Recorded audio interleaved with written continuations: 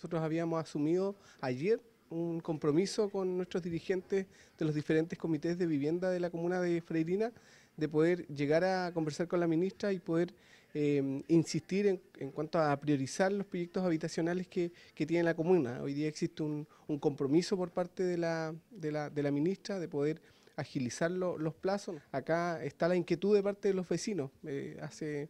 hace poco tiempo se, terminó de construir un conjunto habitacional en, en Freirina pero son cerca de 200 las viviendas que necesitamos construir como desafío. En esta oportunidad eh, vimos una muy buena voluntad, eh, muy buena disposición de parte de esta cartera encabezada por la ministra eh, Zaval y por cierto esperamos de que en las próximas semanas, como así lo ha dicho ella, podamos tener respuesta de esta evaluación en el que podamos contar con estos suplementos para que a fines de este año podamos iniciar lo que es este proyecto habitacionales que hablamos alrededor de 108 viviendas. A transmitir la preocupación de los vecinos y vecinas que están desde el año 2012, en, algún, en algunos casos 2013, con el subsidio en la mano, pero sin ningún proyecto eh, habitacional. Y eso porque en el caso de uno de los comités no tenían viabilidad de poder construir sus viviendas porque se requerían obras muy importantes en materia de infraestructura básica. Y esa fue una de las tareas que asumió el alcalde